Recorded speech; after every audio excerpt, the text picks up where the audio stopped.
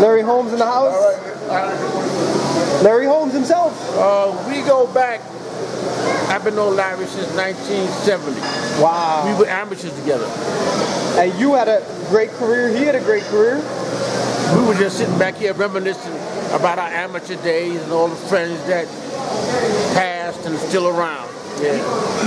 A big personality. He's a character. What's your favorite moment with him away from boxing? Away from boxing? Well, just hanging out with him uh, when we used to go to camp together at Ali's camp. Just hanging out. Just, you know, just hanging out. Everybody was full of testosterone at that time, you know. What was it like to be in camp with Muhammad Ali? For the younger generation that just heard the name or seen the picture, but you being there, what was it like? Every day was an adventure. It was different every single day. So you look forward to one thing, next thing you know, there's something else coming in. How do you compare it to being around Floyd Mayweather? Because you're around Floyd for many, many years too. Oh, without a doubt. But you got to realize one thing: it's a different era. Everything has changed. Even the music has changed. You know, so it's a different era.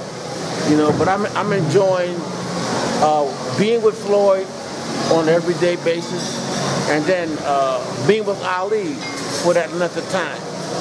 Have you ever sparred Ali? Oh man, we sparred so many rounds together. I mean, a lot of over a hundred rounds. What was that like for you to spar? Well, you know what? Listen, it was a great experience knowing that if I can lay my hands on the greatest of all time, then the mother cats ain't got no business being in there with me. What made him so great at 6'3"? Because the heavyweights these days are 6'9", 6'10". Yeah, but Ali was speed. A lot of at that time, the heavyweights were just ponderous. That's what he got over on his speed. You couldn't hit him with a bag of rice. He was so fast. That's crazy.